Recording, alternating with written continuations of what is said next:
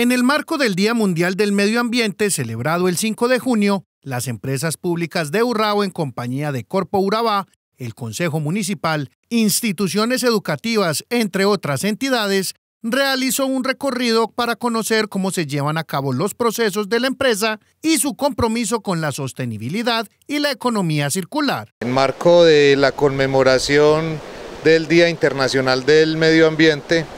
eh, programamos un recorrido por cada una de las instalaciones de empresas públicas de Urrado. Eh, queremos continuar haciendo este tipo de, espacios, eh, no solamente para que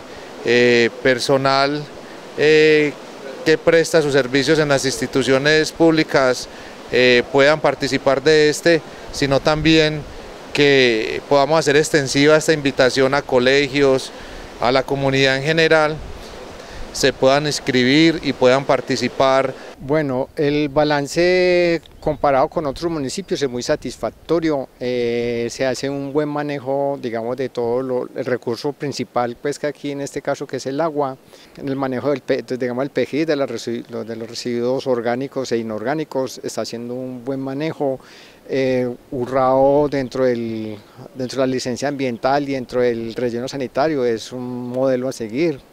de parte con, la, con los desechos orgánicos que se vuelven abonos y ya están certificados por parte del ICA me parece algo fundamental. La PETAR con su entrada en funcionamiento en la fase de estabilización, la compostera y su procesamiento de las casi 80 toneladas mensuales de material orgánico y su conversión en abono, el relleno sanitario con el procesamiento de cerca de 180 toneladas mensuales de residuos sólidos, la generación de cerca de 0.75 megavatios en la PCH y el tratamiento de agua potable para el municipio fueron los procesos que se conocieron de primera mano. Primero que todo, felicitar a empresas públicas por la celebración del Día Internacional del Medio Ambiente. Excelente la, celebración hoy y conocer, porque así vivamos acá en el municipio, hay veces no conocemos eh, qué otras actividades hace empresas públicas y nosotros vamos a estar atentos porque ya conocemos como concejales cómo funciona cada una de estas empresas.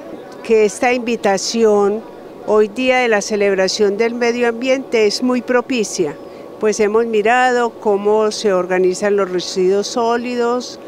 cómo se genera la energía, el agua, o sea, es genial, qué rico que mis estudiantes vean todo esto para que lo valoren. Un recorrido bastante educativo que se espera abrir a más población y estudiantes para conocer y fortalecer la conciencia ambiental la protección del medio ambiente y el reconocimiento de los procesos de una de las empresas descentralizadas más importantes del municipio.